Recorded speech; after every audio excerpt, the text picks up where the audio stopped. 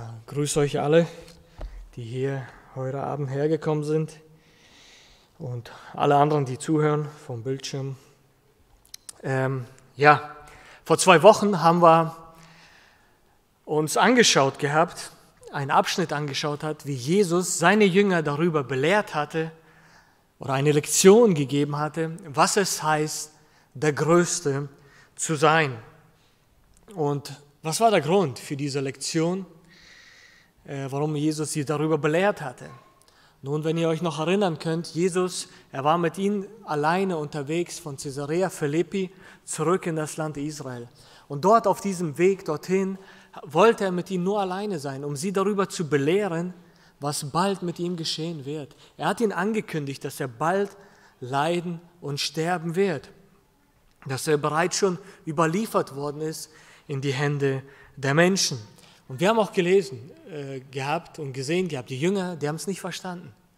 Die haben es nicht verstanden, was Jesus ihnen gesagt hatte. Wir haben auch nicht gesehen, dass sie nachgefragt hatten, um Klärung baten. Nein, was haben die gemacht?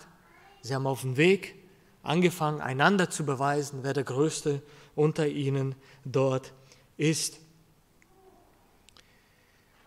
Und als sie dann eben in diesen einen Zwischenstopp in Kapernaum eingelegt hatten, wahrscheinlich in dem Haus von Simon Petrus, da hat Jesus ihnen gezeigt oder deutlich gemacht, ihnen diesen göttlichen Rat gegeben, wie sie eben zur Größe, zur wahren Größe gelangen können.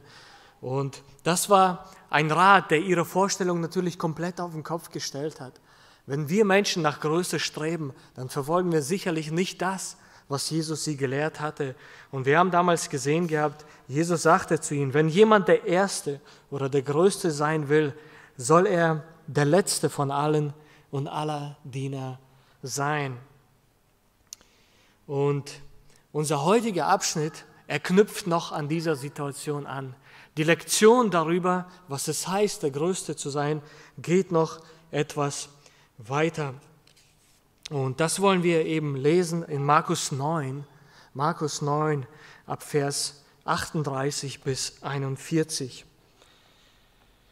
Markus Evangelium Kapitel 9 ab Vers 38 bis 41. Wie gesagt, es ist noch dieselbe Situation, die sitzen im Haus, Jesus hat sie belehrt gehabt und jetzt kommt Johannes zu Wort. Johannes sagte zu ihm, Lehrer, wir, haben, wir sahen jemanden Dämonen austreiben in deinem Namen. Und wir wehrten ihm, weil er uns nicht nachfolgt. Jesus aber sprach, wehrt ihm nicht, denn es ist niemand, der ein Wunder in meinen Namen tut, meinen Namen tun und bald darauf schlecht von mir reden kann. Denn wer nicht gegen uns ist, ist für uns. Denn wer euch einen Becher Wasser zu trinken geben wird, aufgrund dessen, dass ihr Christus angehört, Wahrlich, ich sage euch, er wird seinen Lohn gewiss nicht verlieren. Und ich habe diesen Abschnitt in drei Punkte aufgegliedert gehabt. Und der erste Punkt ist der Stolz, der dem anderen Größe, der dem anderen keine Größe gönnt. Wir haben gelesen, Jesus, er belehrte sie darüber, was es heißt oder wie sie zu wahrer Größe gelangen können. Und dann unterbricht scheinbar Johannes Jesus, indem er Folgendes sagt. Johannes sagte zu ihm, Lehrer, wir sahen jemanden Dämonen austreiben in deinem Namen und wir wehrten ihm, weil er uns nicht nachfolgt. Nun, es ist irgendwie vielleicht unklar, warum Johannes jetzt hier das zur Sprache bringt. Ähm, er schildert hier von jemand oder beschreibt jemanden, der unterwegs war und in Jesu Namen Dämonen ausgetrieben hat. Und er meint, wir, haben's ihnen, wir haben es ihm verboten gehabt. Wir lesen davon nirgendwo in den Evangelien, aber die Situation hatte sich irgendwo zugespielt gehabt, sodass Johannes das hier vorbringt.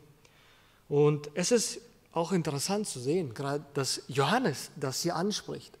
Ich weiß nicht, welche ihr Vorstellung von Johannes habt, Johannes als Apostel, aber man nennt ihn häufig Apostel der Liebe, dass er so ein sanfter war, ein milder Apostel, nicht so wie Petrus, der ständig da irgendwie reingegrätscht ist, irgendwas gesagt hat oder mit dem Schwert reingehauen hat.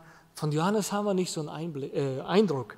Aber hier und an einer anderen Stelle, zu der wir auch noch kommen werden oder die ich erwähnen möchte, sehen wir, dass Johannes vielleicht doch nicht so ganz eben immer so ein Apostel der Liebe war.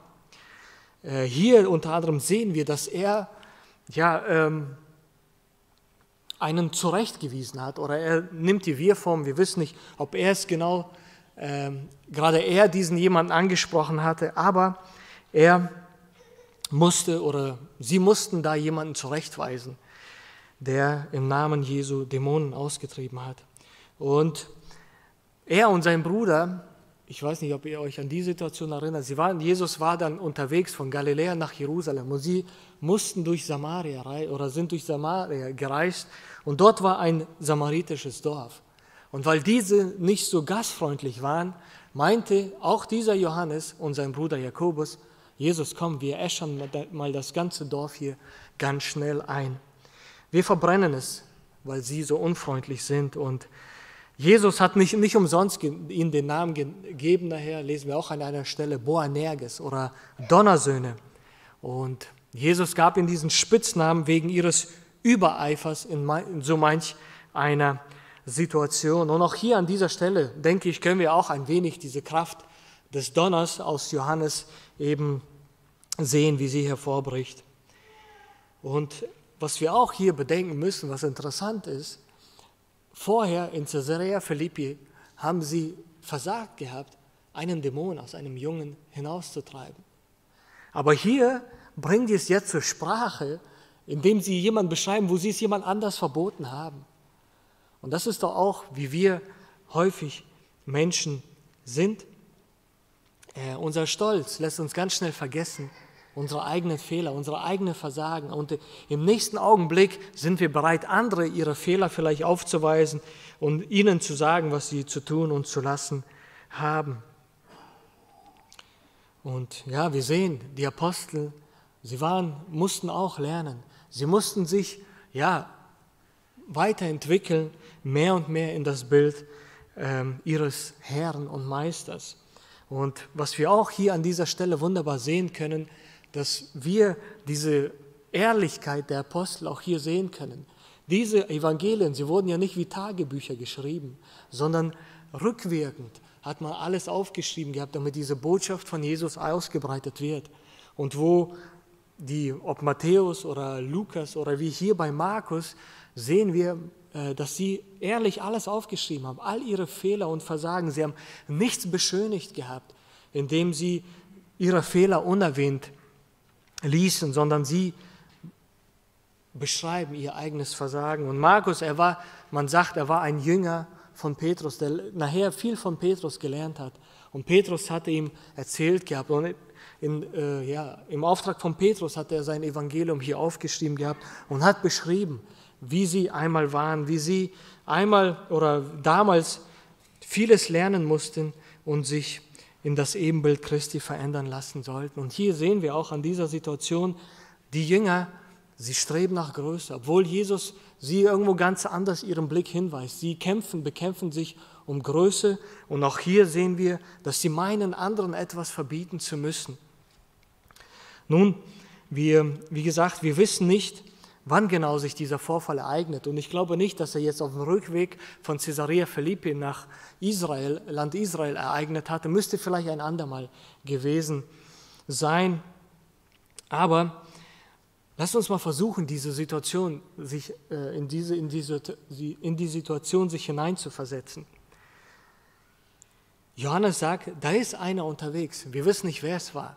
Aber er ist in deinem Namen unterwegs. Und dieser Mensch hilft anderen, von der Macht des Teufels freizukommen. Er treibt Dämonen aus in deinem Namen. Und die, eigentlich müsste es doch wunder, etwas Wunderbares sein, dass da jemand ist, der die Macht der Finsternis bekämpft, der sie Menschen aus dieser Macht der Finsternis, aus den Zwängen Satans befreien möchte. Aber Johannes oder die Jünger waren der Meinung, nee, das ist nicht richtig, was er da macht. Wir müssen es ihm verbieten. Johannes sagt, hier, oder warum haben die es verboten gehabt? Johannes sagt, weil er uns nicht nachfolgt. Also sie, er meint nicht, dass sie oder dass diese Person nicht ein Jünger von den Jüngern ist, sondern er folgt nicht mit uns zusammen. Er gehört nicht zu unserer Zwölfergruppe. Er gehört nicht zu unserer Mannschaft oder zu unserer Gruppe, die wir, Jesus, dir nachfolgen. Er ist vielleicht nicht einer wie wir, der alles verlassen hat und jetzt dir nachfolgt. Er ist nicht einer von uns und somit hat er keine Zertifizierung, diese Tätigkeit auszuführen. Er weil er uns nicht nachfolgt, sagt Johannes hier. Will er das tun, Dämonen ausreiben in deinem Namen, so muss er hier unter uns sein. Und wenn er das nicht ist, oder weil er das nicht ist, so hat er kein Recht, diesen Dienst zu tun. Das war die Ansicht der Jünger. Das war, oder die Jünger, sie meinten, nur sie hätten dieses exklusive Recht, im Namen Jesu hinauszugehen, um Wunder zu tun, um Menschen von den Dämonen frei zu machen. Und wir Menschen denken oft in unserem Stolz, dass wenn etwas nicht von uns getan worden ist, so kann es kein anderer, also, oder dann kann der andere auch nichts Gutes bewirken. Oder kann, es kann nichts Gutes sein, wenn es andere tun. Wir sind oft so in unserer Denkweise. Und das war auch die Denkweise der Jünger hier. Er gehört nicht zu unserer Gruppe und er hat nicht die Erlaubnis, das zu tun. Und lass uns mal sehen, was Jesus dazu sagt. Vers 39. Jesus aber sprach, wehrt ihm nicht, denn es ist niemand, der ein Wunder in meinem Namen tun und bald darauf schlecht von mir reden kann. Jesus, er heißt es nicht gut, dass sie diesen Verbot ausgesprochen haben, dass sie sich dieses Recht genommen haben, es diesen Menschen zu verbieten. Jesus sagt, wehrt ihm nicht. Sie sollen es ihm nicht verbieten. Sie sollen diesen Dienst nicht verachten und diesen als schlecht ansehen. Und Jesus erkannte wahrscheinlich diesen Menschen. Er wusste, er ist der Herr, er weiß, kennt einen jeden. Und auch wenn er uns hier jetzt vielleicht nicht bekannt ist oder vielleicht war er den Jüngern auch fremd. Aber wir können sehen, dass zur damaligen Zeit auch andere Jesus nachgefolgt sind. Auch nicht in dieser engsten Gruppe, aber an Jesus geglaubt haben und in seinem Namen hingegangen sind und diese Wunder getan haben. Die Jünger waren nicht die einzigen, sondern es waren auch andere im Namen Jesu unterwegs. Und deshalb sagt Jesus auch hier zu seinen Jüngern, denn es ist niemand, der ein Wunder in meinem Namen tun und bald darauf schlecht von mir reden kann. Jesus sagt, er ist in meinem Namen unterwegs. Er bekennt meinen Namen in, in diesem Dienst, den er tut. Und er redet nicht schlecht von uns. Er, ist, er stellt sich durch die, diese Wunder, die er tut, nicht sich selbst in den Mittelpunkt, sondern er ist in den Namen Jesu unterwegs. Er macht Jesus groß. Er stellt Jesus in den Vordergrund und er redet gut von Jesus. Er bezeugt wahrscheinlich dort, dass es in Macht Jesu geschieht, geschieht und dass Jesus unter ihnen ist, der Christus, der Messias, der eben diese Menschen frei macht. Er macht diesen Namen Jesu groß, indem er diese Wunder dort getan hat. Und er hat sich nicht selber zugeschrieben, sondern Jesus sagt, er tut es in meinem Namen.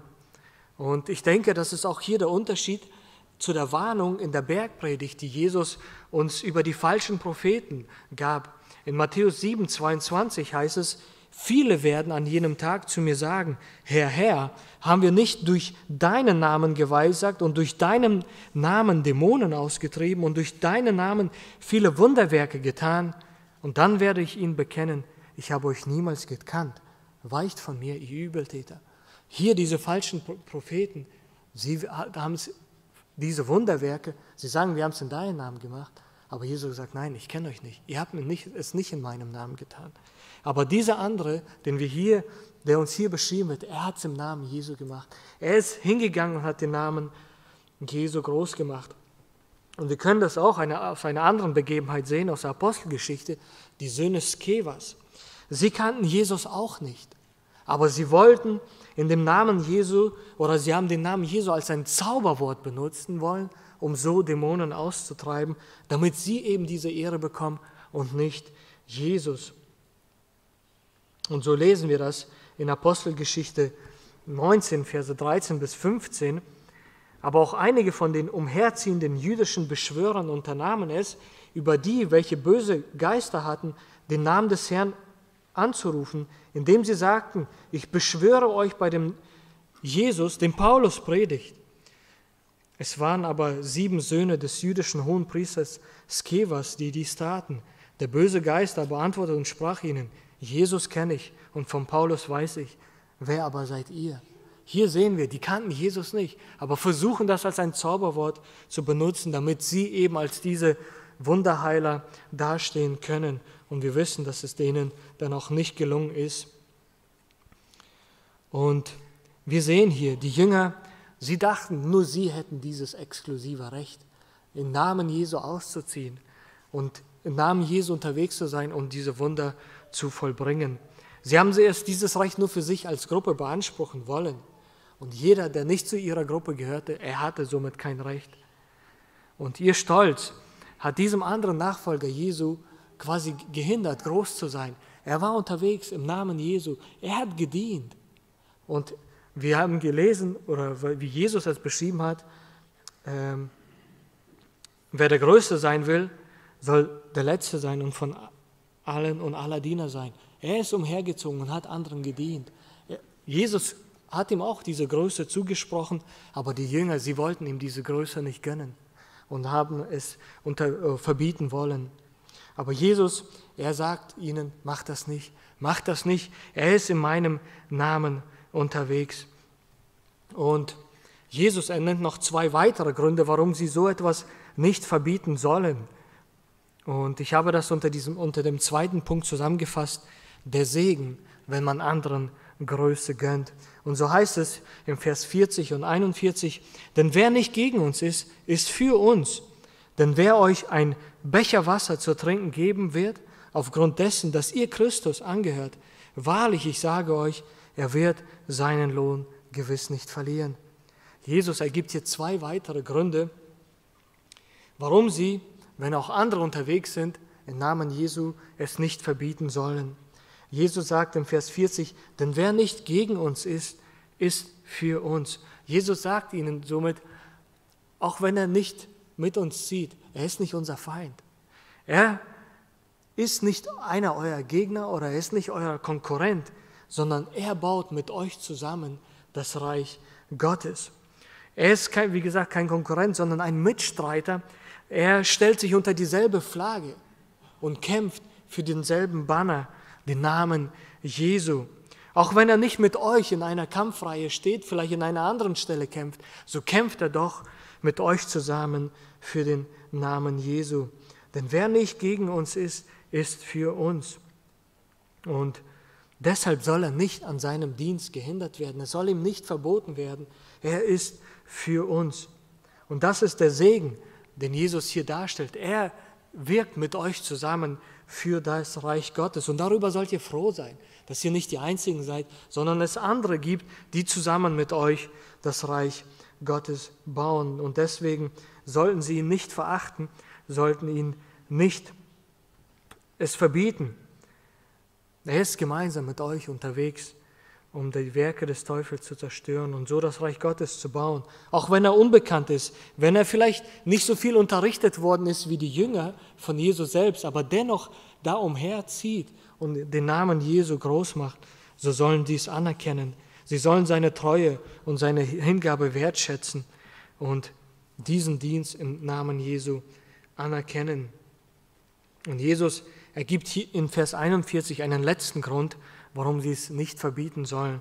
Wir, wir lesen dort, denn wenn wer euch ein Becher Wasser zu trinken geben wird, aufgrund dessen, dass ihr Christus angehört, wahrlich, ich sage euch, er wird seinen Lohn gewiss nicht verlieren.